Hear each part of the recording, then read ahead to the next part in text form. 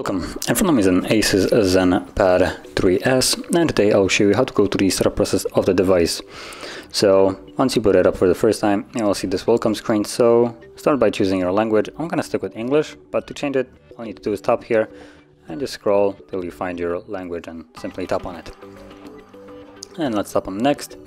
Uh, active input method, so I'm gonna stick with English, but if you have some kind of different keyboard, you might wanna change it. Um, then you have Wi-Fi connection. Now this step is completely optional. If you don't have a Wi-Fi next to, next to you, you can just tap on next and not connect. If you do, you can simply choose yours and connect to it. Uh, then you have the terms and conditions as you can see, you can read them and then, well, you will have to agree to it. So let's tap next and agree. Next page, Google services. So you have several Google services. You can tap on the arrow here to extend it and read exactly what it does. But basically you have some uh, localizations, uh, so it basically gathers data on you and where you are. And then you have uh, send system data, so again gathering data on you and sending to Google. Um, so let's tap on next. You can disable both of them and not agree to it basically, and it will work just fine. Uh, then you have uh, date and time settings. Now, if you choose to connect uh, to network, this will be set automatically. Uh, but if you didn't connect, you can tap on here and just select whatever time you want by just choosing one, like so. And then tap on next. Then name.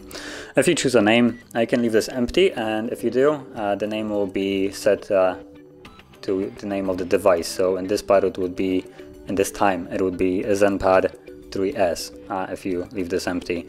So I will. But if you want, you can name it to, I don't know, your name or something that will distinguish this device.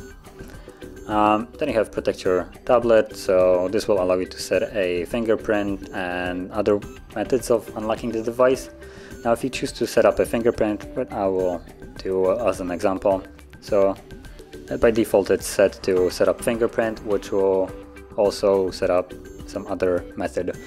Let's see, if we go to next part, part we have the ability to either set a pattern, parent, or password. Uh, you do have to have other way of unlocking apart from fingerprint. Um, I mean, if you lose your finger, uh, you won't really have way to unlock your device. So that's why there is a pattern, pin, or password. Um, and also sometimes if your finger, I don't know, gets cut uh, or is dirty, this also might not work all the time. It's not as reliable. And pattern, I will always remember as an example. That's what I'm gonna go with pattern. And then uh, require pattern uh, to start device. I highly advise to not do it because then you're forced to put a pattern before the device fully turns on and after it turns on, which is just annoying in my opinion. And here, draw to unlock pattern. So we just draw our pattern, then tap and continue. We draw the same pattern once more, confirm. And now we get to scan the finger. So the sensor is right here as the home button. So what you want to do is just touch the sensor. You don't want to press it, just touch it. And when you're doing this, make sure that you get a good read of your entire finger, basically the middle of it along with all the edges. So however you press the um, and the button, it will always unlock. So, oops, uh, just continue. So let's finish this up. There we go.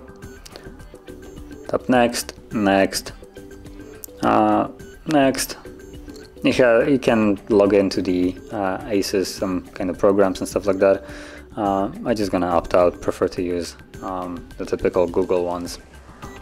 Then you have um, account and sync. So here you can choose to connect to your account. Um, if you have a Google one, for, for instance, you can log into it and then also you will have the ability to retrieve a backup of, for instance, your previous device and all of the apps that were located on it and then immediately install it onto this. Just gonna skip this anyway and click on done. And that's about it. Now the device is fully set up. And because of that pattern, uh, we do have to unlock the device either with this as you can see. As you can see or with our finger.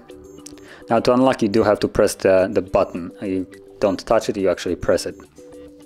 So that is how you would go through the setup process of this device and if you found this very helpful, don't forget to hit like, subscribe and thanks for watching.